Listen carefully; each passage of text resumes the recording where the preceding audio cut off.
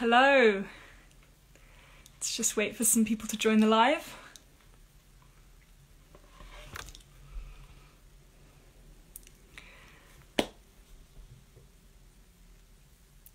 Great. Hi, everyone. Everyone who's joining. Hello, welcome. So let's get started. All right. Okay, hello and welcome everyone. Uh, my name is Isabelle Kent. I am an art historian, and today I have the great honour of and privilege of speaking with Sir Simon Schama uh, for the Colnaghi Foundation. This is the fifth in our series of live interviews where I speak to artists and thinkers whose work looks at the great art of the past and reinterprets it for our modern age. And I cannot think of a better person to speak to than Simon Schama. So, how to introduce Schama. He is one of the best known and most influential historians of our age. Uh, he's a professor of history and history of art at Columbia University, a columnist for the FT, uh, a regular for the New Yorker, and a writer and presenter of numerous documentaries and um, and radio shows he has written on everything from the French Revolution, the Dutch Republic, the slave trade, and the entire history of Britain, um, to modern politics and food, which are some of his other great passions. Like many of you, I grew up watching Schama's documentaries uh, on the small screen, from Landscape and Memory to The Power of Art and the Story of the Jews. And today, uh, we are going to be discussing his most recent series, um, currently airing on BBC Two, The Romantics and Us. This is a three part series, and, and it's a fascinating look at how the Romantics, their writing, their art, um, their music and ideas shaped our modern age. So I'm so excited uh, to be speaking with Simon about this. So without further ado, let's try and add him to the chat. All right. Let's see.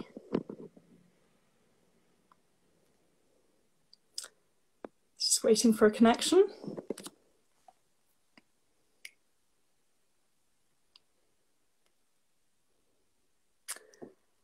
Hello.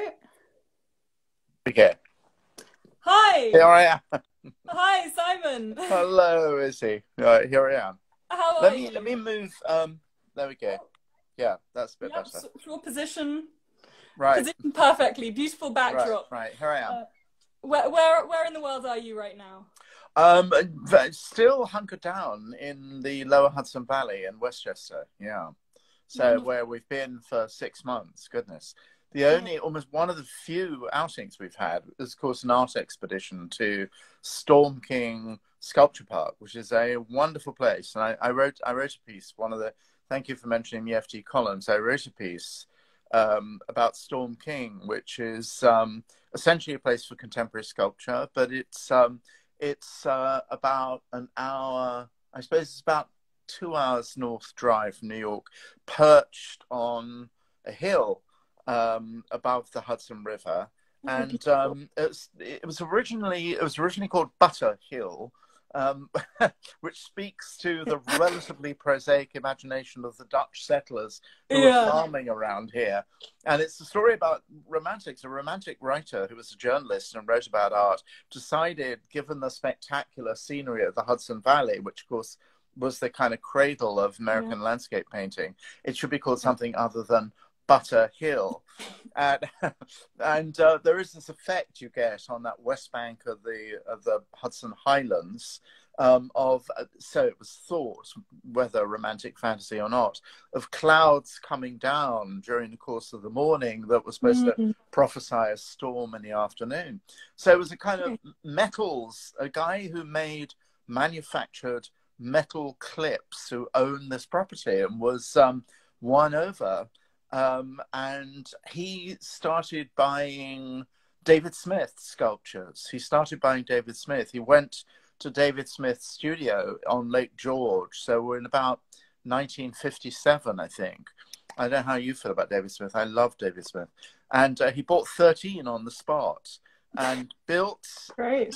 yeah, and he built the park around them. It was originally meant to be a museum for his Hudson River landscapes, and then he changed his mind. And that's full of wonderful stuff of um, great Richard Serra, wonderful Andy Goldsworthy, undulating wall, incredible. There's a lovely Kiki Smith right now. So once Yeah. it opened, you know, I thought, okay, life, gotta go. Life is art, isn't Yeah. it? Art is life. Well, you and me both, because uh, Yeah. similar. uh, Last week I was driving down from Yorkshire and stopped off at the Yorkshire Sculpture Park, which sounds like Oh. a similar, you know, That- breathtaking that's its views, rolling cousin, hills. actually. Um, I think the Yorkshire Sculpture Park is slightly older than Storm King. It's much older than we think. I, I think it sort of fell into a kind of picturesque slumber, dare I say, for a bit. But of course, it's unbelievably wonderful place. And, yeah, and, Yeah. and and it was packed when I went. I, I thought, you know, this is nice. I get some art outside. to book Everything your will be spread out.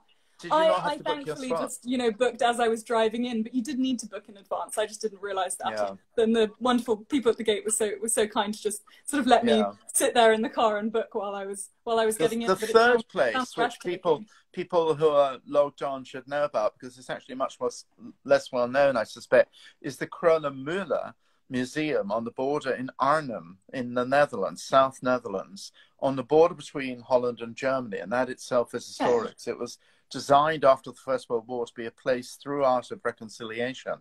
And Mr. Kröller and Mrs. Müller, who were married, can't remember which name was which, had an incredible collection of Van Goghs, Van Gogh, as we Yeah. um, don't correctly say in England, and the biggest um, next to the Van Gogh Museum. Um, but it, it very quickly developed, well, maybe not very quickly, again into a wonderful sculpture park, essentially of classical modernist sculpture. So Mm. Barbara Hepworth, Epstein, Henry Moore.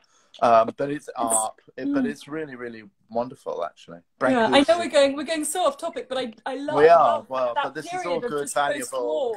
No, I mean art. exactly. But that, Yeah. that that period of post-war where sculpture sort of took on this form of you know reconciliation of public Yeah, uh, space and you know public sculpture, Yeah. all of the sort of Battersea Park uh, exhibitions that were held after the Second World Yeah. War. Well, you and I will do. You and I will even further off topic now, which is a good thing. you and I will do one thing. I felt that's really not been done properly is is a big show. Uh, you know, should be at, at, at Tate Britain probably, but one of the Tates on the fifties. You know, the fifties is thought Yeah. to be so dowdy and traditional and tweed jacketed and um, all those people who are rightly forgotten like graham Mm. sutherland. They're not rightly forgotten. And it was absolutely you know fizzing with bravery with um, the independent group you know. Yeah. Yeah, yeah. That- And Henry Moore, the father of them all, you know, as as Yeah. he yeah. described. he um, has beautiful sculpture at storm king actually. It's it's close to the museum. And it is it's called mm, i mean it's it's called enclosed figures and it's one of these kind of uh, Oh. prone mothers yeah. with a kind of womb space with the Yeah. child sort of post fetal womb child Yeah. inside and it's it's just sort of like an arabesque um loop you know Yeah. very beautiful and you know, and, and very post-war, that sort of protection. Ah, exactly there was a whole exhibition. Again, we're meant to be talking about the romantics, but, yeah but Henry that, Moore for a that's second. good we've already was a- created an important Yeah. new spectacular show Yeah. so. did, did you see the exhibition at the, at the Wallace Collection, which, for anyone who doesn't know, I used to work at the Wallace, and there was an exhibition there of the, the Helmet Head series. Those um, oh no I those- didn't. And, and it's the first time that this this series that he worked on for quite over a number of yeah a sort of large portion of his life yeah were all collected together and you know seen as this yeah this Yeah. protective armor.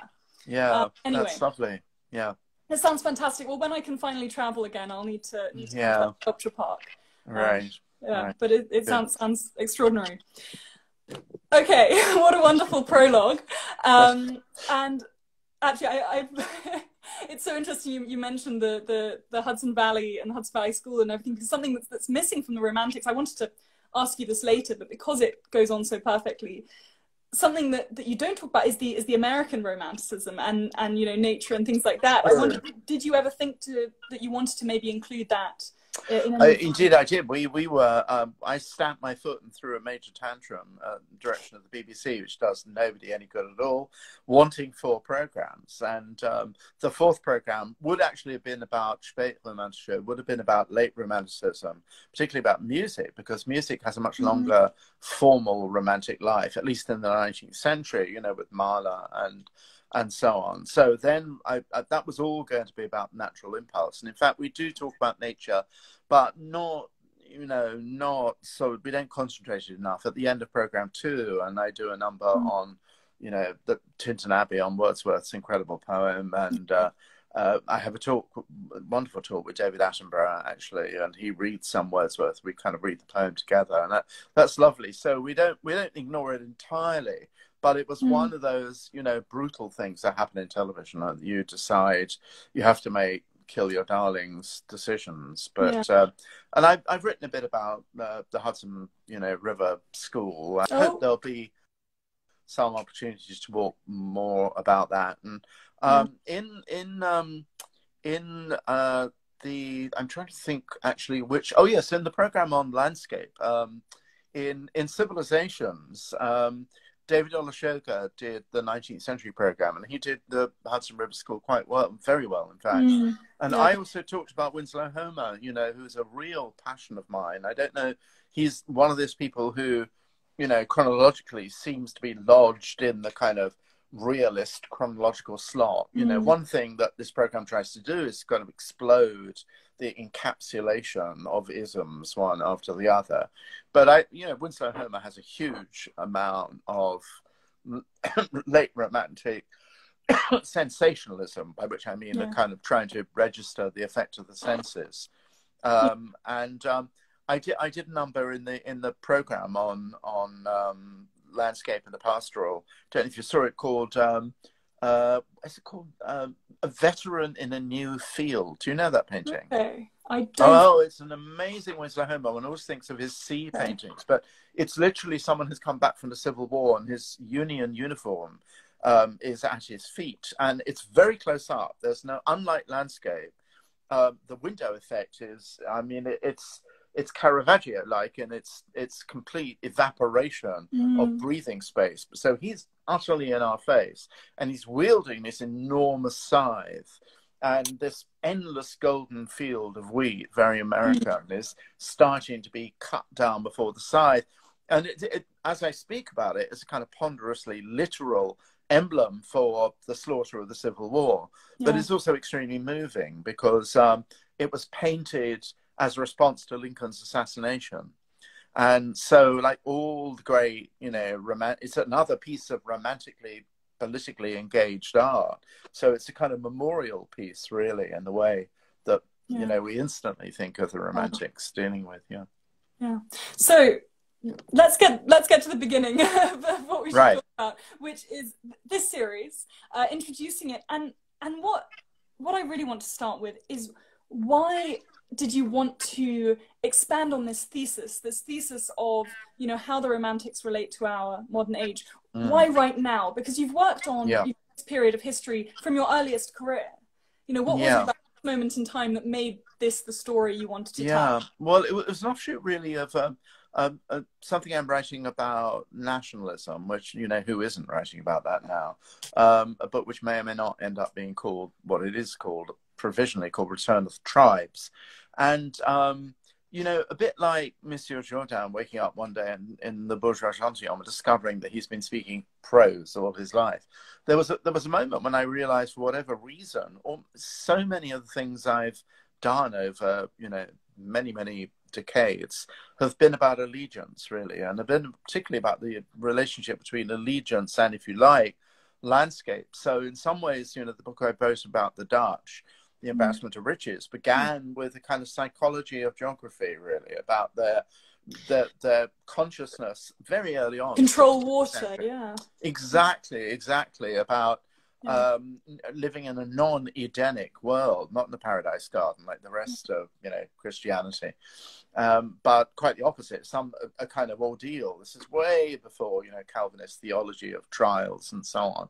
And so you know, when I wrote about the French Revolution, which seems on the face of it and is in lots of ways a very radically different thing, the one thing that struck me that was a kind of ferocious drive of both the good and the bad parts of the French Revolution was a sense that France had become a nation, you know, and as a, uh, it was a sort of mystique of territory in a way, because it's when it's only when the Prussians and the Austrians physically crossed the frontiers of the newborn republic at the in the autumn of 1792 that a kind of you know spasm of patriotic terror and determination takes place and so mm. the link really between this sort of discovery of what it means to be I mean, the the, the uh, I always remember actually, but I'd forgotten until we're having this talk. Uh, it, the the the threatening phrase which a which a member of the revolutionary police would use as someone they suspected of being a, an émigré or disloyal to the government would be "Êtes-vous de la nation?" Do you belong to the nation? Mm. And um, it's sort of both exhilarating and scary at the same time and you know lots of other things too the jewish history and the american future has really all been about that. Yeah. So I, what place do, yeah, yeah, what i'm trying to do is in the book is really it's not a book purely about the romantics so it may change a bit but it really is about again the collective psychology of what it means to belong. So there's a chapter on music chapter on sport chapter on art for sure. So it's really about almost kind of ethnology of of ethnology, the sort of mythologies yeah. of defeat. So really, when I when I thought about how that kind of sense of belonging came to be, it's utterly a property of the Romantic movement because of the Romantics' belief, starting with Rousseau, um, that nature is everything, you know, and um, and you know, etymologically, natio is cognate with nativity and birth, and yeah. so everything about the place or the home you were you were born in you know controls everything else so that had me reading um, the romantics a lot sort of drenching myself and then mm. then i thought of well it be might be a very nice thing to expand that obsession into other obsessions watching for example the demonstrations in hong kong mm. you know really sort of belief in people power which now who knows maybe you know yeah. irreversibly trodden on. That made me think of the mask of anarchy.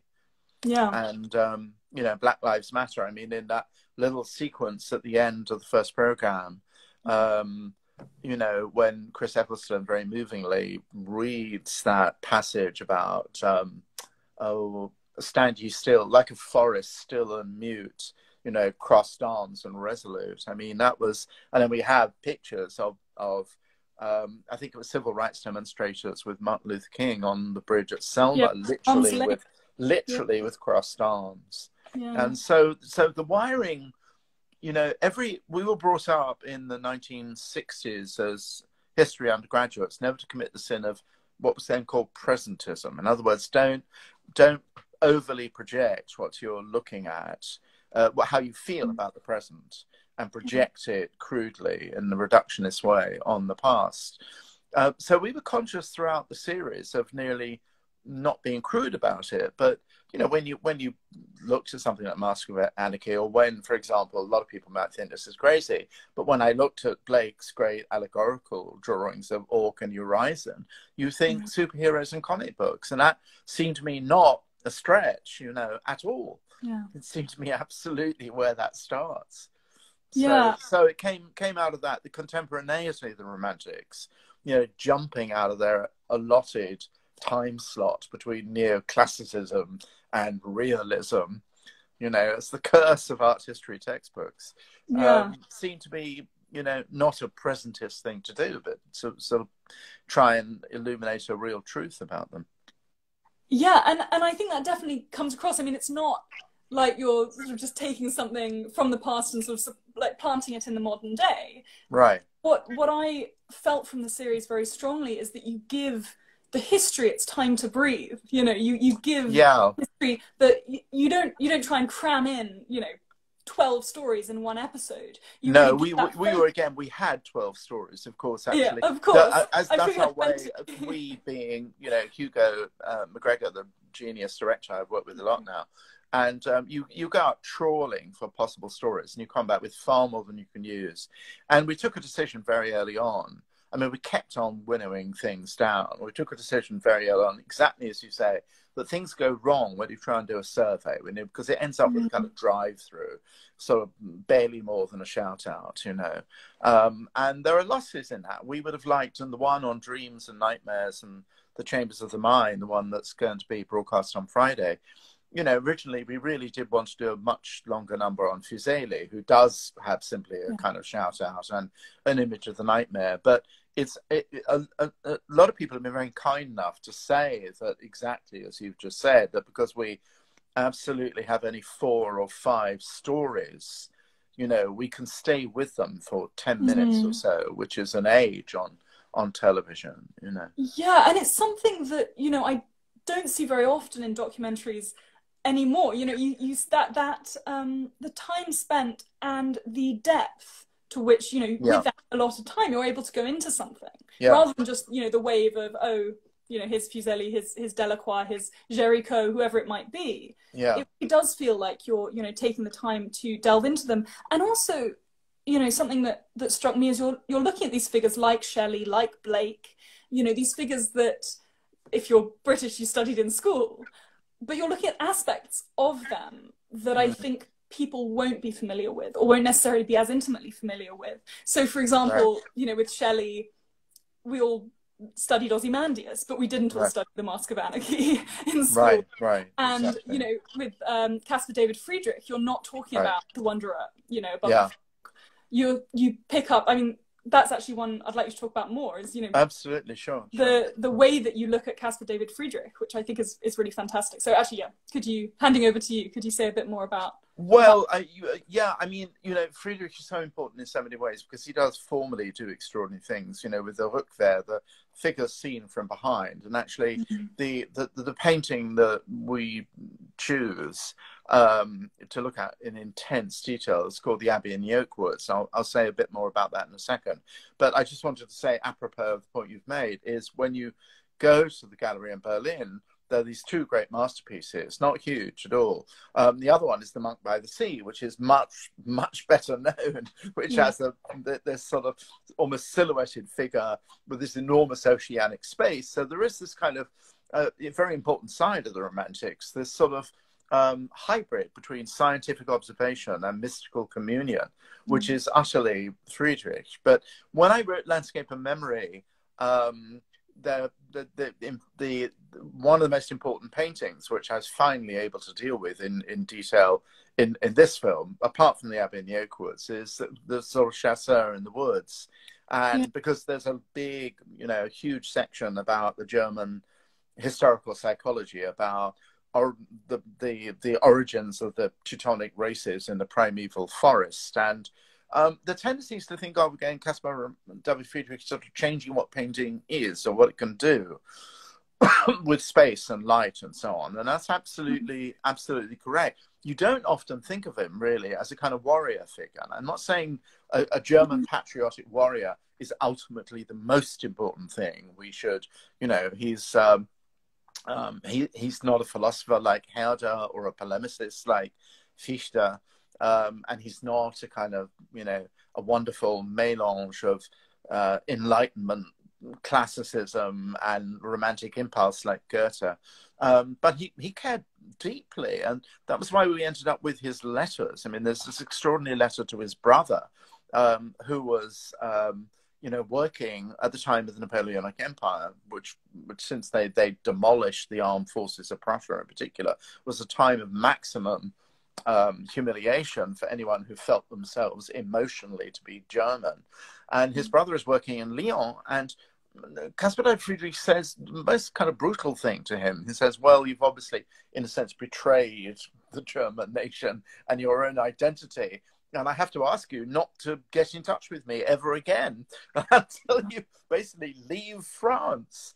And so he's, um, you know, a part of his temperament is this because artists, I think, you know, they're, they're not born as politicians or they're, they don't have this, uh, you know, they, they come sideways to it in a way in which, you know, Goya you know, is prepared to paint everybody's portrait, really. Mm-hmm. I mean, it's no good presenting Goya as an absolutely, utterly committed champion of the Enlightenment. Part of him is, but it's not doesn't rule out painting the horrible royal family or the vile Godoy or the yeah. monstrous tyrant Ferdinand VII.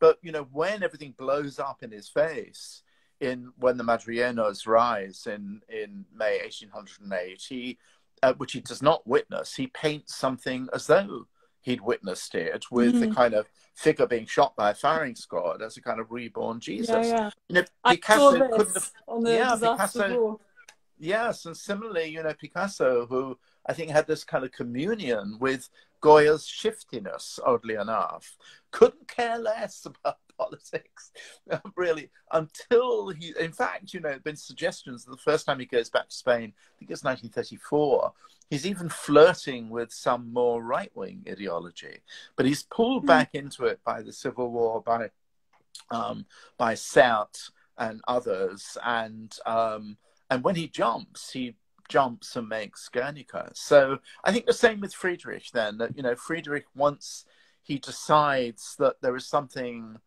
tinny and hollow, that there is something awful about sort of the bureaucratic despotism of Napoleon, that mm. he, he then, you know, the inner fires of, of what romanticism should do kind of stir within him. And there is a crucial element in all romantic feeling, which is not necessarily a healthy one, is what I call the romance of defeat.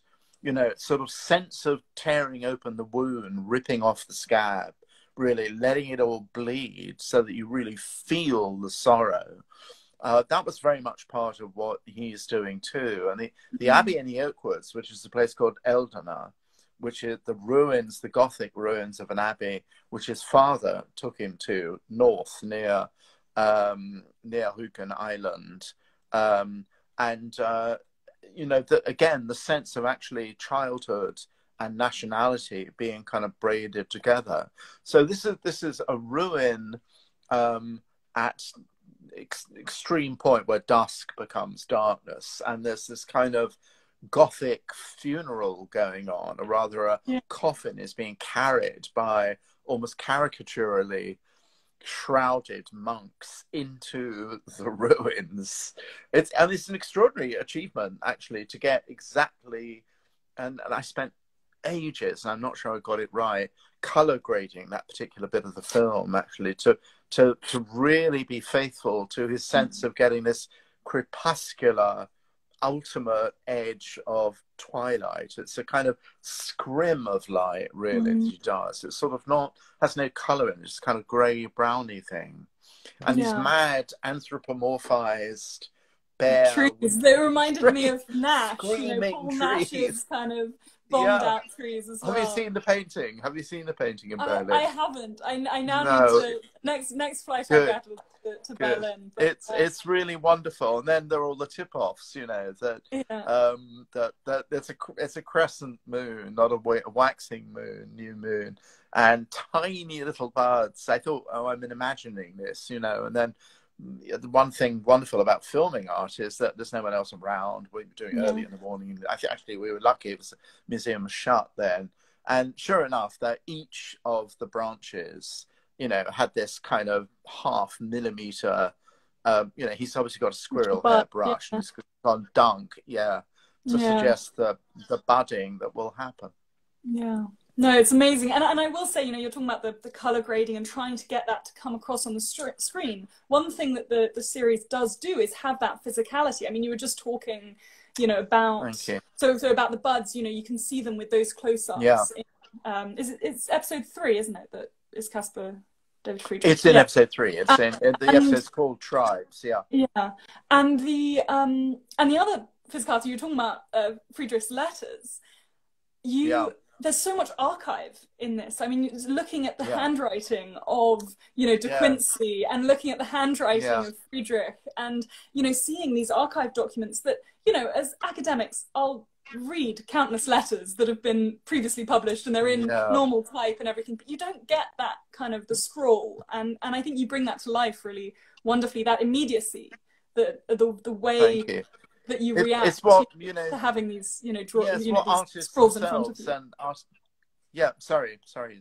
No, it's what artists and art historians from them call. It's a, it's it's a, a cliche word of our trade, but it's a good word. The mark, you know, the mark really really matters actually yeah. i mean i find that there's an old fountain pen that i work with this one among others um, the older i get i suppose it is a fuddy-duddy thing um, the more I can feel the actual physical force of the pen on the paper, um, mm. the fresher the ideas are going to be. It's really weird. Of course, like everybody else, it you know gets transferred to the kind of screen that we're looking at now. But there is so so I, I, I yeah I do I do look at these things. I mean, you you mentioned the Mask of Anarchy, um, and um, yeah, it was quite clear that Shelley, who's in Italy and has got a bit, a bit of a guilty conscience about being there while Leigh Hunt is sending him these terrible newspaper reports of Peterloo. So there's a sense of making a poem, you know, even in this mm. kind of tempest of rage that he has about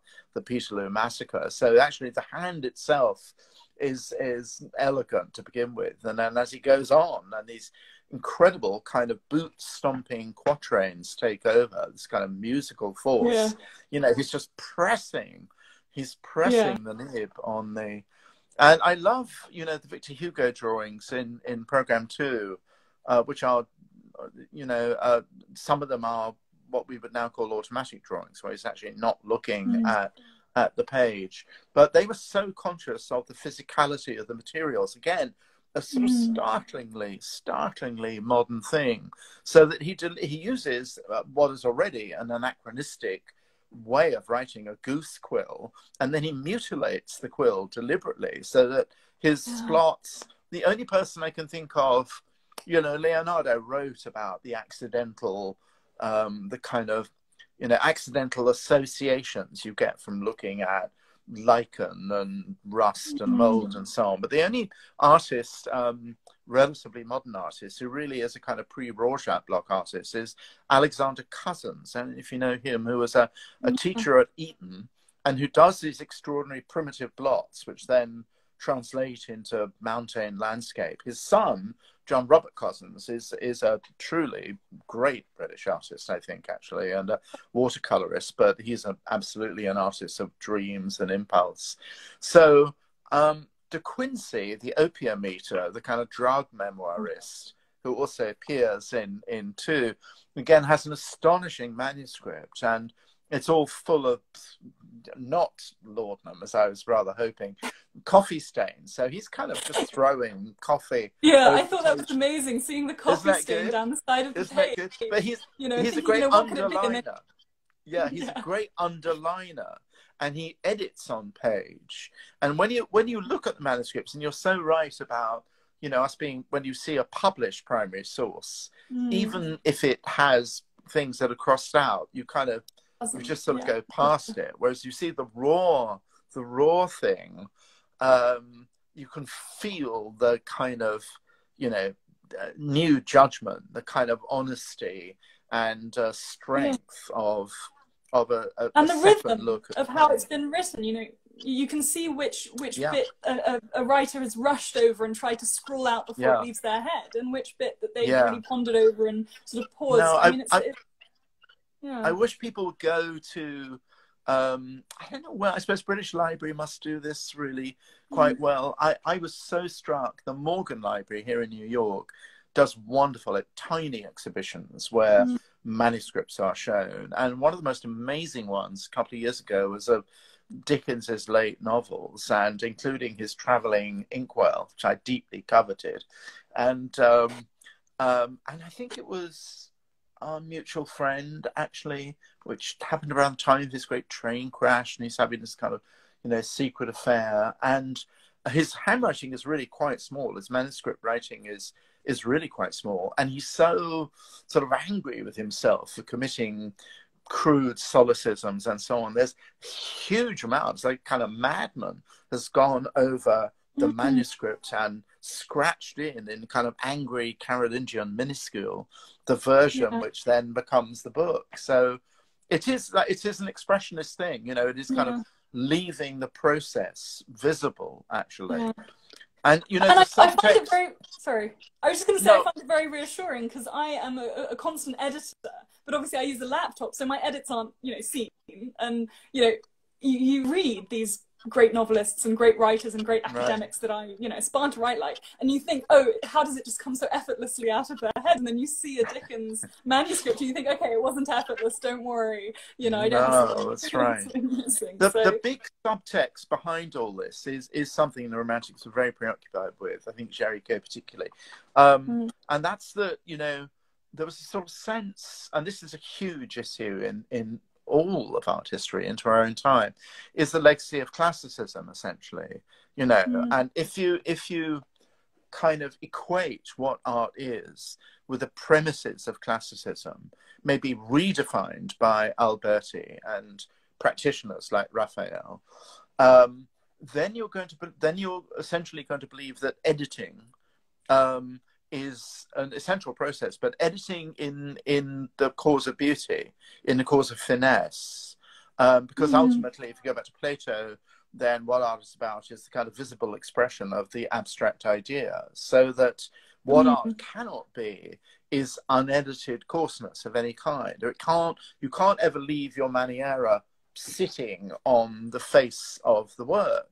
Uh, yeah. Uh, ever. You know, it's a shocking thing, yeah. arrogant, disgraceful thing.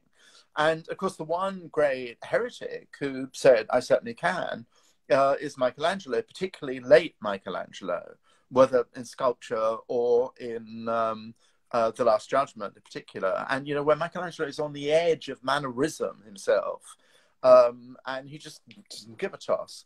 And um, so it's not surprising that Michelangelo is, you know, Blake's hero. He's everybody's hero, and he's he's yeah. over idealized as some sort of rebel against the excessive finesse and polish and, as we'd say, licked but finish I wonder, I, of classicism. Yeah.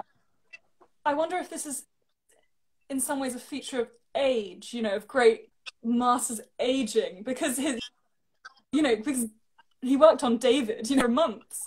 So you know his early. Yeah, well, for sure. No, he was working yeah, on for sure. you know months and months, and then it was that slow release of, and and, and I think you yeah, see that well, in I a lot did, of I did. That you know that release. I did. I did a series of lectures, the Mellon lectures, which I never published because um, uh, there's a particular reason why, but I, I really should I should be brave enough to publish. Except I actually lost the manuscript for one of them, but I can redo it. It's called Really Old Masters, which is about late style, and it was about late style in art. It actually began with the the, the full length nudes of Lucian Freud, including the one where he presents himself. Mm. Have you noticed? You know the one with the shoes, and he's totally nude, but yeah. he, he also being so modest presents himself in the attitude of the Apollo Belvedere, but, holding a kind of palette knife. I mean, it's so grandiose, it's comical. so I, I, go from there to the relationship, which you know about, you know, from because you're kind enough to read that, the relationship in memory that Rembrandt had with Titian, and particularly with late Titian mm. and Rembrandt, you know reproductive prints were happening, but I don't know, nobody was reproducing the flaying of Marsyas or um, you know, so I, it's it's unclear how much a kind of radical deconstruction of surface that Titian was into really registered with. And there was one lecture on Goya and David, both in our old age, and one on mm. Picasso mm. and Matisse. And then actually the last one I was going to do was going to be about de Kooning and Miro. And um, I'm not actually a great fan of those late ribbon like de Kooning's, but they are very extraordinary, mm. and they happen when he's losing his mental grip. Whereas, do you know those late Miros, which are yeah. Um, they look much more like Lucio Fontana's, but Miro was doing slashed monochromes, which yeah. are, you know, well, there was so... that fantastic Miro retrospective, or uh, you know, when I was a, in my late teens, I remember going to a Tate. At yeah, Tate did they have those there? Seeing them, yeah, they did. Yeah and they are shocking, aren't they? Really, because they're mm-hmm. kind of enraged images of damage. You know, they're not mm-hmm. like Mr. Charming light surrealism at all. They're infuriated pictures, and and at the time of the uprisings of the '60s, which he had mixed feelings about, um, he did even more kind of torn graffiti like things mm. which i don't know if they had those and yeah. well I, I, was i was re- yeah i was recently in, in in palma in mallorca which has the great miro uh, museum yeah. and studio i don't know if you've if you've ever been to that i sign. haven't there's one in barcelona which is nice but yeah. yeah. and there's i mean miro spent his oh the palma you know, the last... is the studio that's been reconstructed Right. Exactly. It is his Yeah, there are the two studio. studios. There's the old house up on the hill, and then there's yes. that beautiful. Oh, the architect who did the Maeght Foundation. Um, I have to go. Yeah. I can't remember yeah. the name, but um, anyway. Yeah.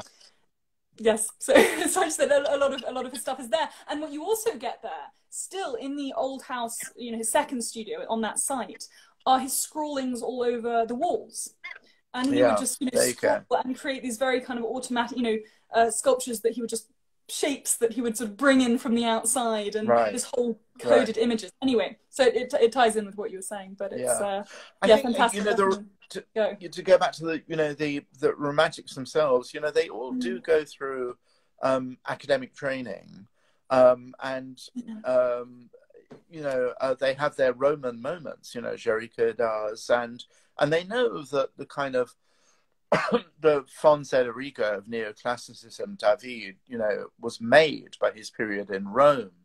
But they have this kind of um, they have this kind of restive relationship with the obligations of academic training. Mm. So, in fact, you know, something I didn't say because it was it's too confusing in a way. Uh, there's a huge amount, particularly of Michelangelo's classicism in Géricault's Raft and the Medusa, aren't mm. they? You have this kind of enormous. Yeah. These are not people who are starving to death or about to you know eat each other they are heroic bodies really thrown mm. together and indeed the great kind of mass of figures you yeah. know also the sprawled out Laocoon kind of sprawl yeah some of the exactly. figures along yeah.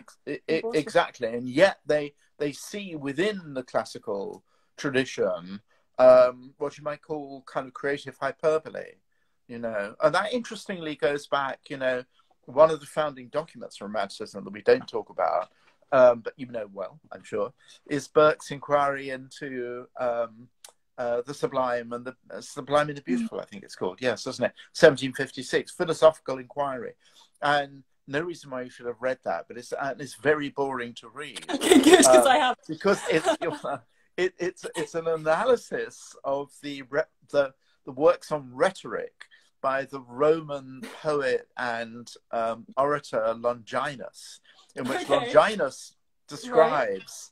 Right. It's it's it's sort of fantastic because uh, Longinus describes the necessity of terror and horror and of the manipulation of extreme emotions if mm. you want your kind of flabby post-prandial Roman senators to pay attention to anything you're saying. Yeah. And the 18th century use of the word horrid as um, something you should absolutely pursue um, in landscape, yeah. for example, the terror of precipices comes out of that, you know, dry document. And Burke thought That's of his own oratory. Back to sort of Aristotle and like catharsis and yes, and exactly, exactly, I mean, exactly, long legacy. exactly. I mean, their their enemy is kind of Augustan smoothness, you know, yeah. in the way Blake's enemy is Joshua Reynolds. Anything that is kind of polite refined, over edited, ingratiating. Mm. Uh, that's the enemy. You know, yeah. why Blake famously scribbles in the margins of his copy of Reynolds' uh, Discourses on Art. This man was born to depress art. he hates. It's so interesting. He hates. Uh, it's worth reading. There is a um, a published edition actually of of um, of the Reynolds discourses with all of, and the, there's an appendix with, with Blake's infuriated commentary. And um, Blake hated Reynolds above all for persecuting, as he thought he did, um, um, Barry. Um, and, um, you know, Barry, who attempted to be a history painter and lived in terrible poverty. And Blake sort of unfairly thinks Reynolds was out to get Barry, actually. And so he, as we properly say, romanticizes Barry, you know, just as Linnell and Samuel Palmer romanticized, but with more substance to it, Blake in in yeah. his old age. So each of them creates this yeah. image of the nobly suffering, overlooked artist. Well, and this is something. I mean, nostalgia at the you know, in, in this sort of mystique yeah. of like nostalgia and looking back is right. something that is sort of at the heart of, of a lot of romanticism and a lot of what you talk about, whether it's, you know, this nostalgia for your childhood or nostalgia for the past, yeah. uh, you know, of your country and the sort of a past greatness. And obviously, I mean, even as I'm saying it, I'm thinking, oh gosh, you know, make America great again. It, it, it ties in with the nostalgia that we all have right, right now about, or not yeah. we all, um, but, but certain people have about, yeah. about times past and, you know, how do you get back to that? How do you, you know, find that? And that's again, I mean, coming back to the the series, that is something that that I think that nostalgia comes up at the beginning of the nationalism, you know, episode, yeah, it does. It? yeah, which I think is really yeah, it, well, it was fantastic. a clinical yeah. condition, rather. The the term was coined by a Swiss doctor called Johannes hofer in his PhD treatise.